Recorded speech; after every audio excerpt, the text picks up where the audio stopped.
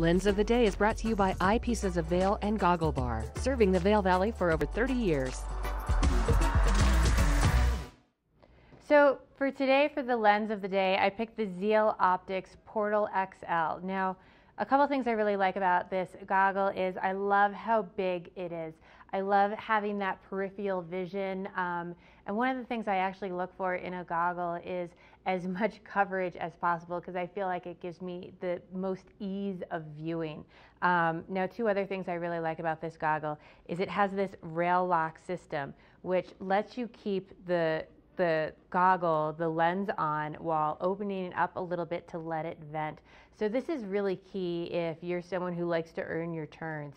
Um, if you like to get, get out in the backcountry and do any touring on your own, um, I think that just really helps with it from fogging up, especially when you're when you're getting that little bit of an extra workout in. But the other thing that I really like about this goggle is I love how light the light lens is. Now it does come with two lenses, a darker lens and a light lens, but the light lens is a really light yellow lens that it is light enough that if you are someone who likes to do any night skiing, you can actually wear this lens while you are night skiing. So, um, and I'm someone who, especially when this weather is overcast, I like having um, that really light, light coverage with just enough yellow to give me that definition.